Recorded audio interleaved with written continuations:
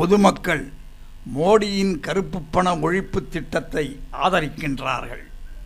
பாகிஸ்தான் போர் தொடுத்தபோது கூட ஒன்று சேராத எதிர்க்கட்சியினர் தற்போது கருப்பு பணத்தை ஒழிக்க மோடி எடுத்த நடவடிக்கைக்கு எதிராக ஒன்று திரண்டுள்ளனர் அவர்களிடம் கருப்பு பணம் அளவிட முடியாத அளவில் குவிந்து கிடக்கலாம்.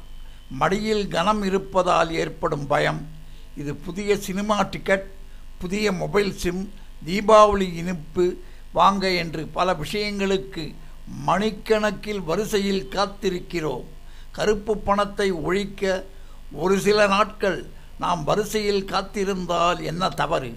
இன்றும் கூட ரேஷன் கடையில் வரிசையில் நிற்காமல் பொருட்கள் கிடைப்பதில்லை. இதற்காக ஏன் எதிர்க்கட்சிகள் போராட்டத்தில் இறங்கவில்லை என்பதை யோசிக்க வேண்டும். தீவிரவாத அமைப்புகள்தான் நம் நாட்டு கரன்சிகளை கள்ள நோட்டுகளாக அச்சடிக்கின்றனர்.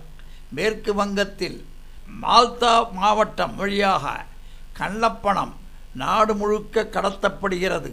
நமக்கு தெரியாமல் நாமே கள்ளப்பணத்தை பயன்படுத்தி மறைமுகமாக தீவிரவாதிகளுக்கு ஆதரவாக செயல்படுகிறோம். ஐரோப்பிய நாடுகளில் பணப்பரிமாற்றம் தடை செய்யப்பட்டுள்ளது. கருப்பு பணம் முழுமையாக அழிவதற்கான முதல் நடவடிக்கை இது. ஜிஎஸ்டி சரக்கு சேவை வரி ஏப்ரல் மாதம் அமூலுக்கு வந்தால் கருப்பு பணப்புழக்கம் குறையும். எதிர்க்கட்சிகள் ஒருவித மாயையை ஏற்படுத்தவே பந்திற்கு அழைப்பு விடுகின்றன. இதனால் மத்திய அரசுக்கு எந்த பாதிப்பும் கிடையாது.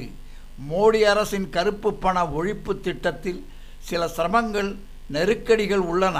அதை சரிக்கட்ட மத்திய அரசு பல்வேறு குழுக்களை களம் இறக்கியுள்ளது. மாநிலந்தோறும் உள்ள மாவட்டங்களில் அதிகாரிகள் குழு கண்காணிப்பு பணிகளை முடுக்கிவிட்டு நிலைமையை சீராக்கி வருகிறது. கோவை மாவட்டத்துக்கு வந்த அதிகாரிகள் குழு மாவட்ட நிர்வாகத்தோடு பேசி இப்பிரச்சனைக்கு சுமூகமான தீர்வை ஏற்படுத்தியுள்ளது.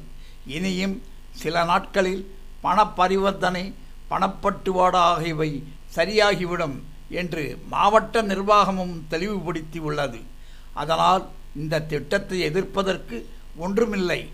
மென்பொறியாளர் ஒருவர் கூறும்போது கள்ளப்பணத்தின் நுழைவு வாயில் மேற்கு வங்கம் அங்கிருந்தே கருப்பு பணம் நாடு முழுக்க பரவுகிறது.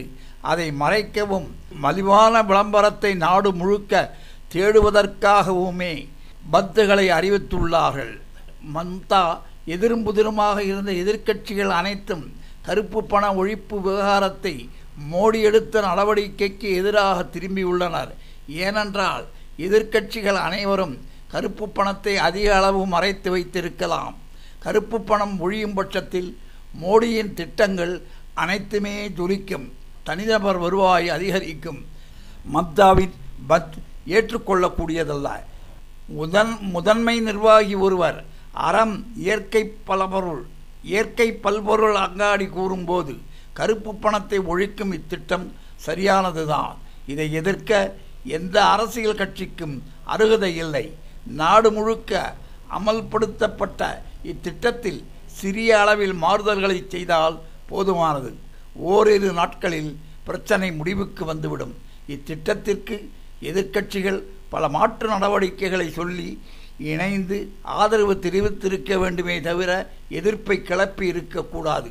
போராட்டத்திலும் எதிர்ப்பிலும் இறங்குவதற்கு சரியான நேரம் இதுவல்ல.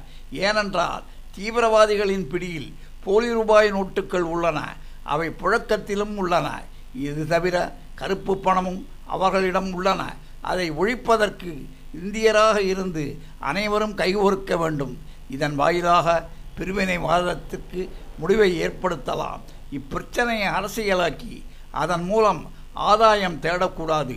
இதை அரசியலாக்காமல் பந்து உள்ளிட்ட எதிர்ப்பு போராட்டத்தில் இறங்காமல் தேச நலன் கருதி மத்திய அரசுக்கு ஆதரவு தெரிவிக்க வேண்டும். நன்றி வணக்கம்.